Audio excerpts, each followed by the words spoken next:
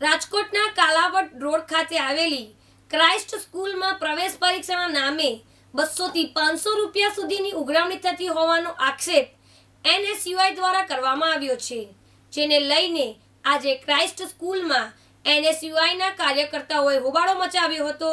સ્કૂલના ફાધરને લેખિતમાં રજૂઆત કરવામાં આવી હતી. એનએસયુઆઈના કાર્યકરો આચાર્યની ચેમ્બરમાં ધરણા પર બેસી ગયા હતા. તેમજ સ્કૂલ વિરુદ્ધ રામધૂન બોલાવી હતી. જ્યાં સુધી ફી પરત કરવાનું લેખિતમાં આપવામાં નહીં આવે, ત્યાં સુધી ધારણા પર બેસી રહેવાની ચીમકી ઉચ્ચારી હતી. રાજકોટ એનએસયુઆઈના પ્રમુખ રોહિત રાજપૂતે રજૂઆત કરી હતી કે રાજકોટની અમુક નામાંકિત શાળાઓએ આવતા વર્ષના પ્રવેશ મેળવવા માંગતા વિદ્યાર્થીઓ માટે પ્રવેશ પરીક્ષાઓની ગોઠવણીઓ કરી છે. રૂપિયા બસો થી પાંચસો રૂપિયા સુધીના ગેરબંધારણીય અને નિયમો વિરુદ્ધ વાલીઓને લૂંટવાનું કારસ્તાન ચાલુ થઈ ગયું છે.